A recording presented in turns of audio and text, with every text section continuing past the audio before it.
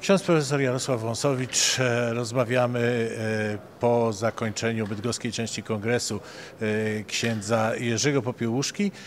Zainteresowała mnie księdza wypowiedź na temat tego, czy kazania księdza Jerzego Popiełuszki były polityczne. Gdzie jest, ksiądz mówił, że to Ewangelia, czysta Ewangelia, ale tak naprawdę gdzie jest granica między Ewangelią a polityką? Bo Ewangelia dotyczy przecież spraw społecznych. Dotyczy spraw społecznych, no granica jest bardzo prosta. Yy, Ksiądz Jerzy yy, w swoich kazaniach yy, nigdy nie potępiał człowieka, natomiast krytykował zło, które się dzieje wokół niego i to jest podstawowe rozróżnienie, że Kościół od zawsze, od czasów Pana Jezusa, bo Pan Jezus też tak robił, tak, potępiał grzech, potępiał zło, nigdy człowieka. No, słynne spotkanie z nierządnicą, którą przyprowadzili do Pana Jezusa.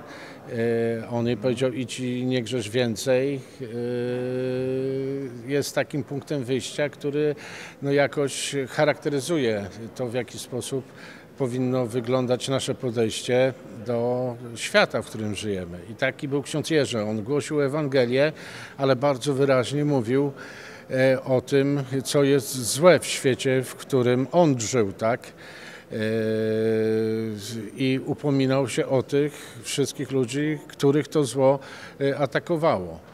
A z drugiej strony trafiał przecież do takich, którzy byli daleko od kościoła, którzy dzięki właśnie takiemu jego podejściu się nawracali i to jest charakterystyczne. Natomiast ten argument, y, no, no, cały świat jest polityczny w jakimś sensie, tak? Ewangelia też, też y, można powiedzieć jest polityczna, y, bo, bo proponuje pewien konkretny program dla człowieka, który żyje w świecie, tak? Do Społeczności. społeczności, do realizowania. No właśnie, ale to, co ksiądz mówi, że y, dać opór złu, y, to y, również zakłada to, że mamy do czynienia z tym, co Benedykt XVI nazwał dyktaturą relatywizmu, prawda, że wszystko jest względne. I teraz pytanie, co jest złem? Jak, gdzie są te granice, gdzie rzeczywiście zło, musimy powiedzieć, że to jest zło bezwzględne? Zło bezwzględne zawsze uderza w fundamenty naszej kultury, naszej cywilizacji i fundamenty człowieczeństwa, e, w godność człowieka jako dziecko, dziecka Bożego. I tak zawsze było e, w systemach totalitarnych i jest po, dzi, po dzień dzisiejszy. E, Ta sytuacja się powtarza.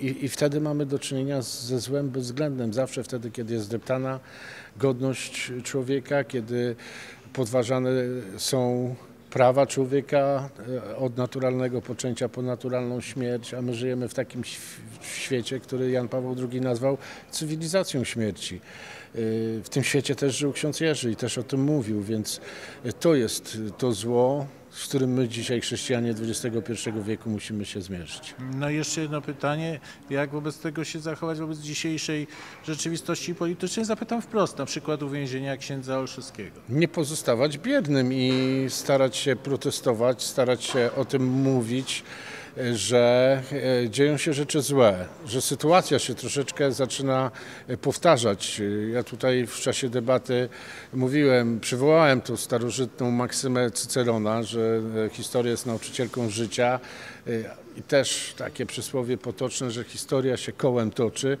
No mamy z tym samym do czynienia. Proszę zauważyć, że w czasach komunistycznych, zanim rozpoczęto otwartą walkę z księżmi, z kościołem, no najpierw wyrzucono krzyże z zakładów pracy, z przestrzeni społecznej, potem wyrzucono religię ze szkół, na końcu pozamykano księży w więzieniach. I dokładnie to dzisiaj się dzieje.